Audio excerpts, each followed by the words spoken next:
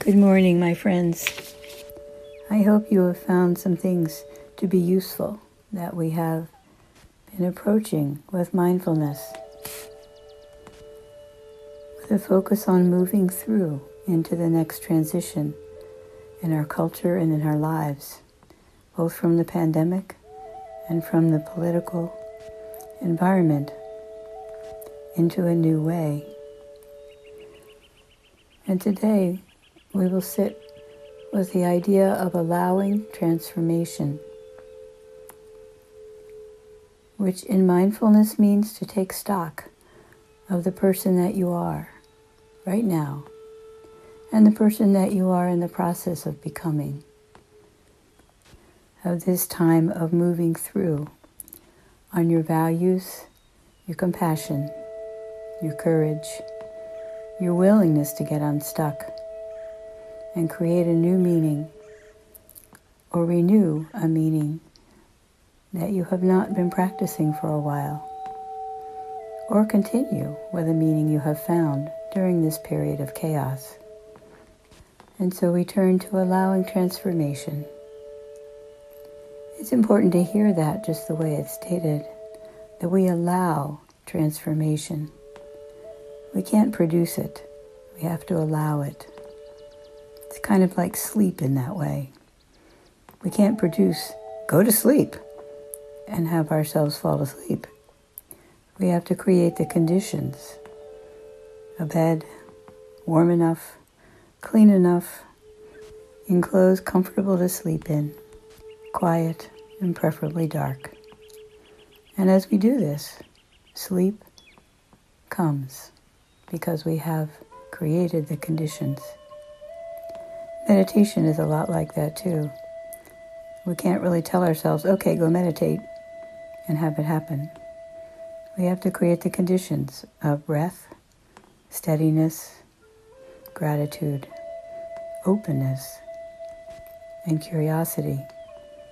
And then that meditative, mindful state emerges from within, allowing transformation is quite a bit like that. So let us be seated comfortably and gently with a curious and open mind and gentle, regular breathing.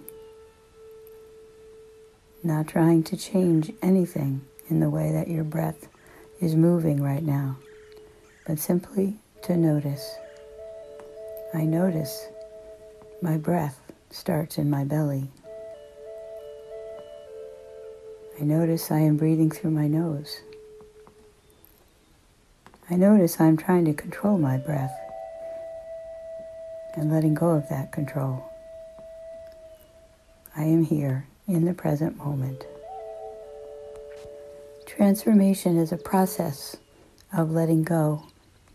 Often the most fruitful transformation emerges out of loss or difficulty as we look forward and begin to reconstruct the meaning in our life. Reconstruction of meaning is an action, a plan with a goal. Transformation, on the other hand, is a mind that lets you see how you process what's coming at you. It is a change at the very heart of the way that you receive, hear, and pass on each moment of your experience. And because of that, it's a little harder to keep track of.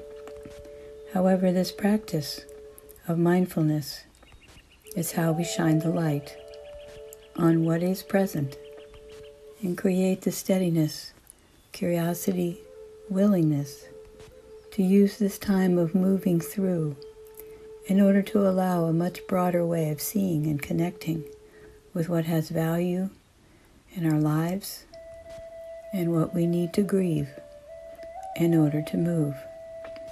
Some of this should be familiar to you from our mindfulness practice over the past many sessions. Mindfulness practice brings about the capacity to move between attachment and detachment to those things which are the obstacles or the stories that we tell ourselves in our lives that keep us very small. So, true transformation is the process of letting go. It might be looked at this way transformation begins when something falls apart, something old and familiar. And the discomfort or pain of something old falling apart is chaos, which invites our soul or our heart to listen at a deeper level, if we allow it, to pay attention to what it is that we are yearning for and what is the nature of what we feel or fear about what we have lost. And sometimes the process of letting go is so uncomfortable that we cling like our life depended on it to anger, suffering, and efforts to control the way that the relationships that are important to us go along. We resist change. At other times, for other people, it may be more familiar to simply take the leap and find yourself in midair, wondering what was I thinking to let go of that. Something like this is coming about for me as I've come to see clearly during this pandemic my attachment to being known and seen as helpful when someone is struggling. And I began to look at that mindfully during this pandemic time. Half the time I'll jump in without invitation and catch somebody before they even know that they're falling. And as I sat with this, it came to my awareness that this is not respectful to jump in and do something like that when not asked. I can tell you this has shaken up the core of my identity as a person who seeks to love well. To jump into and interrupt another person's experience is simply not respectful, I now see. To abandon the desire to help and any wisdom I have about being able to do so is also not respectful of them or me. And so I sit with this and reflect mindfully. And because I am a praying person, I pray quietly for a new transformation that integrates these two things. For my ego to get out of the way, to learn to love more in a way that gives space and presence at the same time. I share this at some length with the detail because I wanted to put into some words the meaning of transformation, and it is a process that requires deep mindfulness, love, and self honesty. It can't really be defined by outcome. That would be change, not transformation.